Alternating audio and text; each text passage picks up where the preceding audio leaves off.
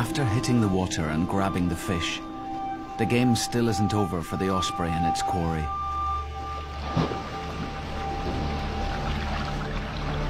He needs to get airborne again.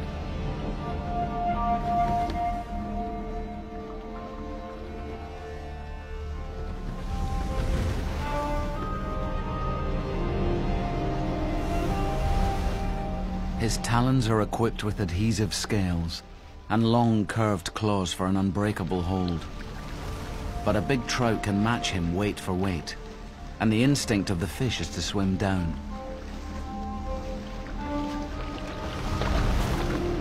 There are tales of weak and hungry ospreys being dragged to the bottom, unable to release the fish or lift off from the water successfully.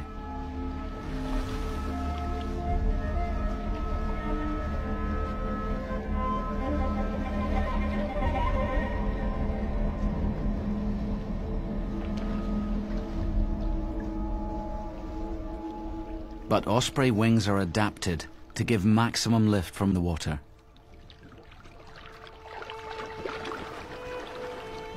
And this male is young and strong. This is a struggle he's destined to win.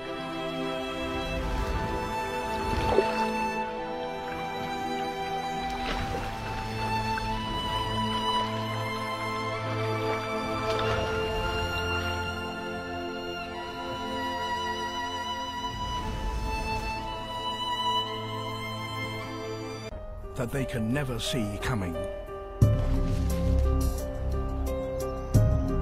The bald-headed eagle.